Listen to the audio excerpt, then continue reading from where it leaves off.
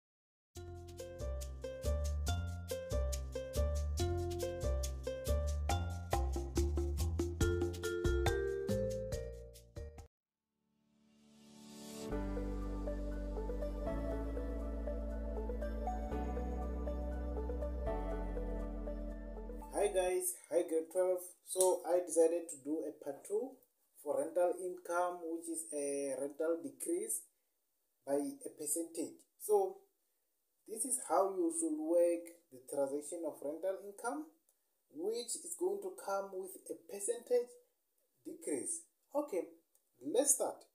our trial balance is for the year end 28 february 2021, which means that we have to know that our financial year started last year in 2020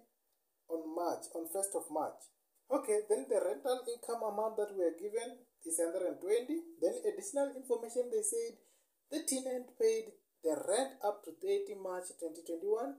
And note that the rent was decreased by 10% per annum with the effect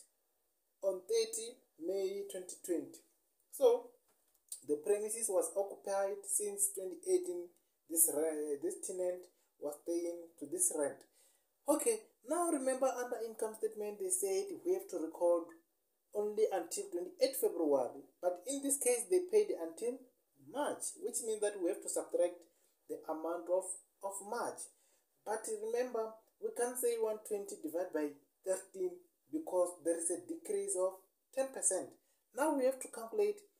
a percent a, an amount of rent before decreasement of 10% so that we will be able to calculate what our rent for for march okay now let's check what do we have to do number one we have to count months before increasement plus months after decreasement okay before decreasement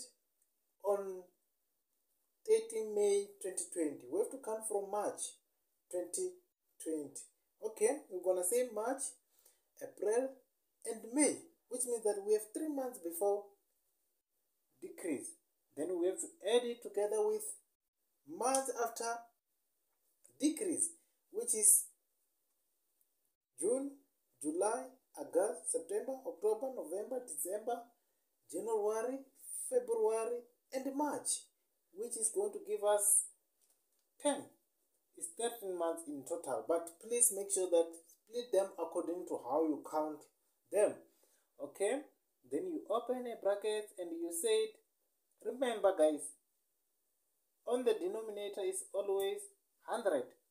numerator is always 100 it depends whether it's increase or decrease in this case because it's a decrease you have to say 100 minus 10 but if it was increasement you were going to say plus 10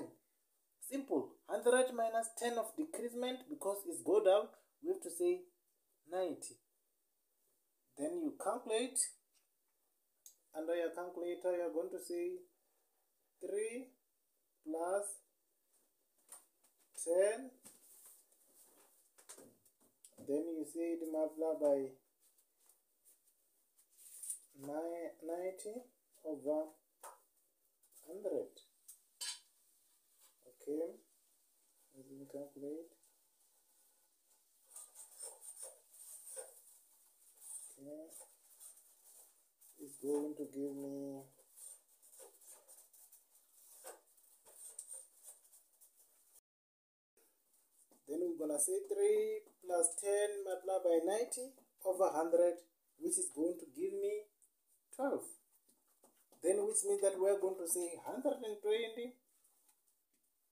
thousand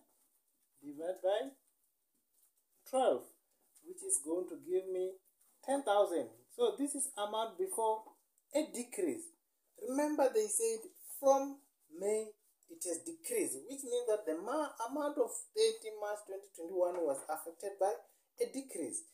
okay now we can say on a final answer 10,000. Then we decrease it by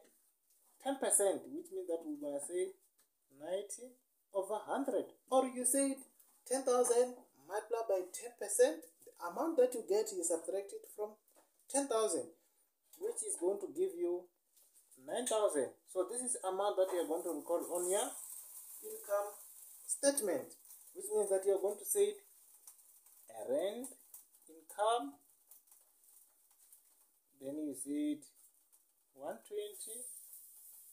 minus 9000 which is going to give you 101,000 this is what you are going to do under income statement this one it has almost four marks